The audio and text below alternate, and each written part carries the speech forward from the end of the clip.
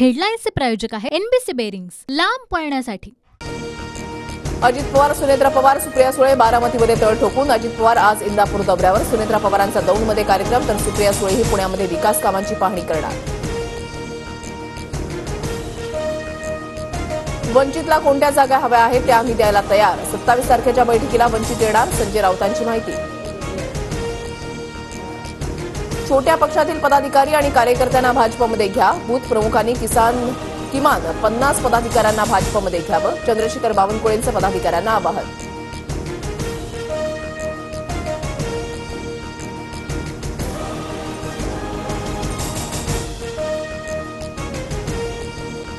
मैत्री करून पाठीमध्ये खंजीर खुपसा आणि संप आहे भाजपचं आधीपासूनच धोरण. विजय वडेट्टीवारांची टीका.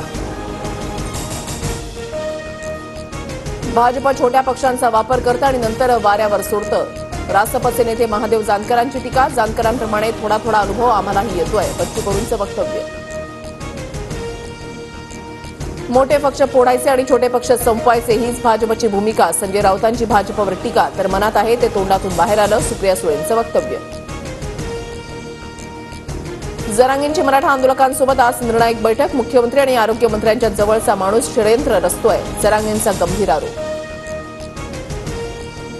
जरांगींचा बुरखा फाडला जाईल. अनेक लोक सत्याचे बॉम्ब फोडतील. अजय वारसकरांची माहिती लोणावळ्याच्या बैठकीमधील डील नंतर जरांगींनी सरसकट आरक्षणाची मागणी सोडली वारसकरांचा आरोप.